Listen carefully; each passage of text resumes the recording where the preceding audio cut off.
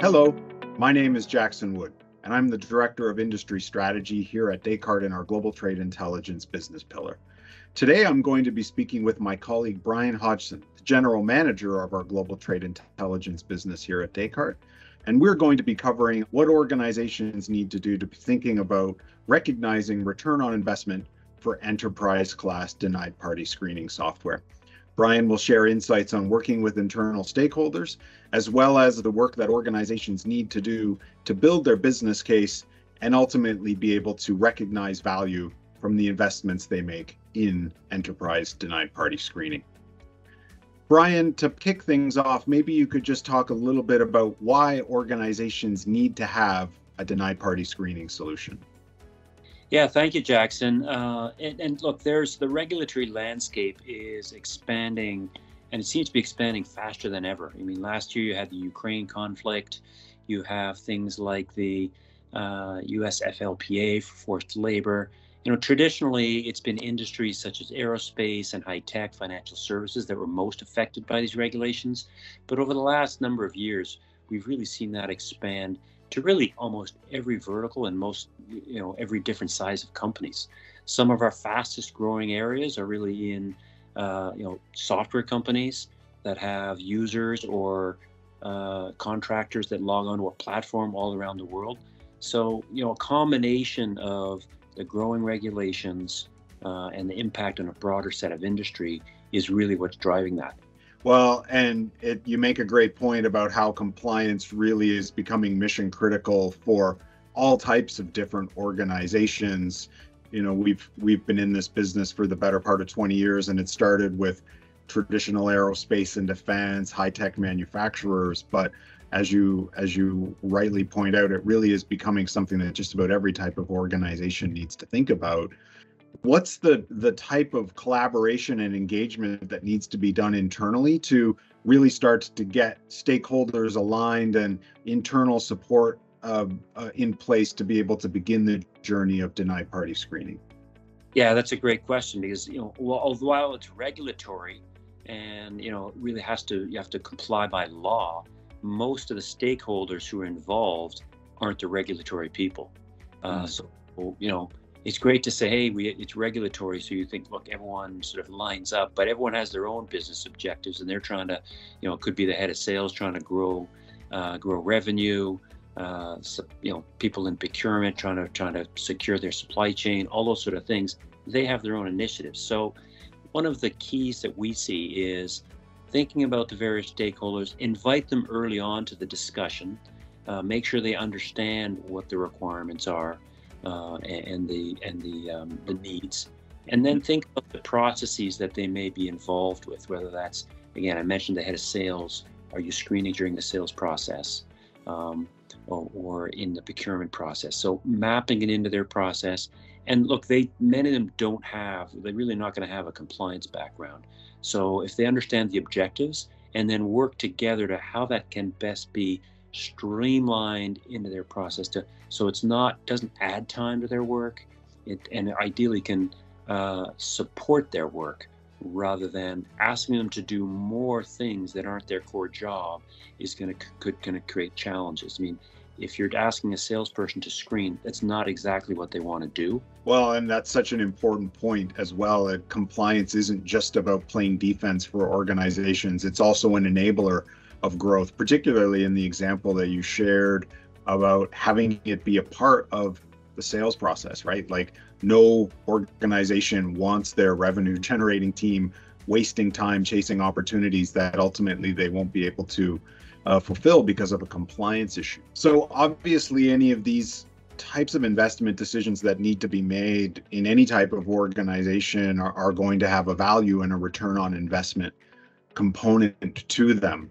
Uh, Brian, in in your experience working with customers, what are some of the the tips or the suggestions you might share for uh, an organization to build a business case to invest in uh, denied party screening software? Yeah, no, that's a great question. The and, and when someone says ROI, often that means look, I got to go and have a spreadsheet with this is what I'm going to, you know, invest, and here's the dollars I'm going to get back. Uh, and there, there's certainly some of that. I mean, certainly Uh, you know, fines they can range from thousand dollars. You know, recently there was a fine of almost ten billion dollars. That's going to be pretty punitive, uh, although they're that that really not that common. Other costs that could uh, come into play are, you know, if there's an audit, CBP comes in and checks. That could be a lot of time from your team, but also there may be legal fees associated with that. Uh, and again, both those are risks. The other side of the coin is how to create value and working with the stakeholders uh, to ensure that as you're doing the screening, you're as comprehensive as possible, you have the right due diligence, um, and so you're avoiding those hard dollar implications, whether those are, mm. uh, you know, the audit, those sort of things, and then dovetailing in. I mean, if you think about the investment from a screening standpoint, really ranges from a few thousand dollars for a small, uh, maybe few user screening solution to you know hundred thousand dollars or more for a large enterprise. How do organizations then go about measuring value or defining the, the positive impact that the denied party screening software is having in their organization? Yeah, so there's a couple of uh, areas to create value. One is around operational excellence, and another is around competitive advantage. So if we look at a few common cases where customers create value, what we see, it's really around, we've talked about the business process, so it could be in the sales process uh, related to you know, either salespeople or CRM. Uh, more broadly, order fulfillment. So once that order comes in, how does that get fulfilled? It could be in procurement, in HR. You know, so starting with sales, some of the challenges that compliance can create are delays in customer onboarding, wasted effort, salespeople spending time when they're not doing, you know, prospecting or sales or their core job. So if they're spending more time on on screening, that's val that, that that's not valuable. That's uh, you know clerical time. Uh, never mind the risk that that could create because they're they're not trained. They don't necessarily have the have the expertise to even do the, the screening properly. So with the right solutions, these can be tackled by creating value around streamlining the process, both the review, the screening process, as well as the reviewing and adjudication process, automating the rescreening process. So if you uh, get a customer, they're not on the list, and then being able to they maybe get added later being able to catch that so and doing that in a more automated way. And we often see people integrated into their crm salesforce is very common crm that we see people integrate to. And that that the advantage there is that's hands free for the salesperson the salesperson is totally focused on their core job and you're screening all the right things with the right data and the right uh, configuration so you're not leaving anything to human error real world example is a global SaaS provider. As I said, software providers are a fairly fast growing area for us. Um, so they're, they're able to re- increase their sales response uh, and reduce time to revenue by integrating in screening with Salesforce.com. Uh, so depending on the sales volume, number of salespeople, you know, we see some, if they're doing it manually, we'll see them spend, you know, 15 to 20 minutes a week so if you think of a, of a sales team of, of 20 people, that's half of a salesperson work week uh, across that. So if you could, you know, there's a productivity. If you could have that that bandwidth back, that's going to drive to uh, revenue and and uh, growth. Another example is e-commerce order fulfillment. So we're seeing more direct e-commerce. So screening those things, the, the question is where to screen, how often to screen. If you're if your customers are ordering through a, with a shopping cart, that screen has to be instant, mm. uh, and uh, you know you can't have time to um, to review that because it's just not the consumer or customer's expectations. So that very automated process uh, becomes critical. And then the question is, if there are hits, what to do about it.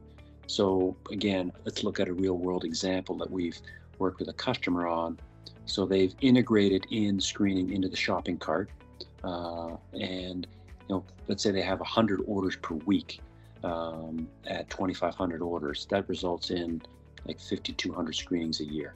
If their hit rate is two and a half percent, and and customers will often say, look, if we have a hit because of the instant need, we'll just decline the sale. That's mm-hmm. lost sales of $325,000.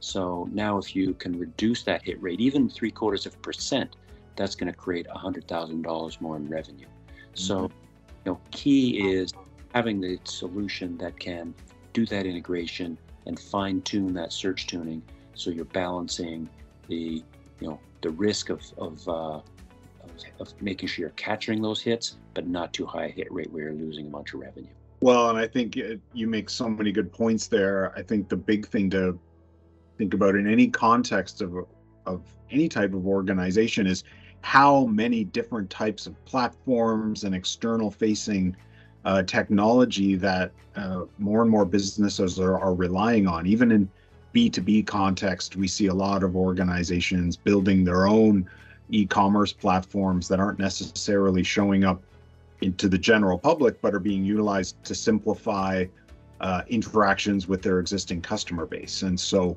being able to leverage integrated and automated denied party screening within all of those different business systems. And as you say, having a centralized adjudication and review platform is essential uh, to being able to maintain the visibility and the and the connectivity of all of those different activities.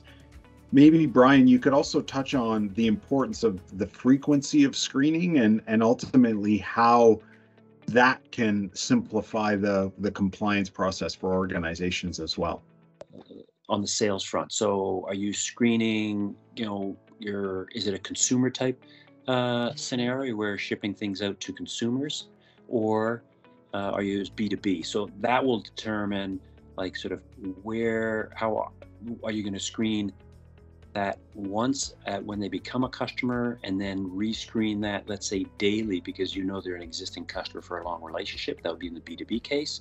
In the in the consumer case, it might be screening simply just you know each order as it comes in, and you don't worry about it after that because your business relationship is that long. Another scenario is the length of the sales cycle. You know, if you're if you have a you know maybe a more of a build to order type uh, sales model where you can take the order, it takes you know a few weeks or maybe even months to get that fulfilled, or even a few days, you may you know screen at the front end, uh, and then also again dynamically or daily screen that automatically, so you're not having to do that on an ongoing basis. But if that if that entity ends up getting added to uh, a list, then you'll you'll be alerted immediately and mitigate that risk, and, and then also reduce any wasted effort. Maybe in our just the the last bit of our conversation here, Brian, you could share a little bit of how organizations actually avoid potential pitfalls and ultimately make sure that they are getting the most out of their solution. Start with making sure the stakeholders are aligned and then this mapping out the various processes of where screening is going to be. So we've talked about sales, we've talked about procurement, could be visitors, could be, you know, like in the software world, sometimes there's contractors who are involved, developers that, that might get screened. Uh, so think of all of the various entities that might get screened and the stakeholders in the organization that do that, mapping out that process. And then you asked about sort of when to screen and volume and integrating. So you may have different systems uh, to integrate. So thinking about a solution that can integrate in a flexible way, uh, but also maybe it's not feasible to integrate or the volumes don't warrant that investment. Uh, so you know having a uh, different ways to handle those solutions might be online screening, might be batch uh, as as means to do that. So really flexible ways that what's the right, you know, what's the right tool to fit the use case and that stakeholder and their business process to make sure that screening happens from a compliance standpoint and minimum, you know, really is the most in terms of a productivity with with not uh, overhead. And yeah. there could be limitations on IT resources and again, having those flexible solutions allows you to really fit the integration and the automation to what your capabilities are on the IT side. Brian, thanks so much for sharing the the insights and your experience. Uh, key takeaways, uh, I think, are a couple. So the first is just remembering that you know ROI is a useful metric, but it can be a, a little bit deficient in capturing the full benefit that uh, denied party screening software can offer to an organization, whether that's in increasing sales velocity or providing greater visibility in the event of an audit, uh, or ultimately really just being able to connect different parts of the organization together from a risk mitigation perspective. And a best in class denied party screening software solution is going to offer you that flexibility, whether that's in deployment options, integration into business systems, but also the single source of truth with respect to looking at results and ultimately making final compliance decisions based on that information. Um, hope that this has been insightful to to all of you who have uh, joined us today. Obviously, this is a complex topic and it can be a challenge to navigate through all the different information that's out there. Um, if you're interested in in taking a, a, look at our technology and ultimately transforming your compliance um, organization, uh, please feel free to contact us. Uh, the information that's on the screen and we would be thrilled to speak with you and your organization about how we may be able to uh, help improve your overall screening activities. Thank you again for joining us, and thank you again, Brian, for taking the time to speak with me today.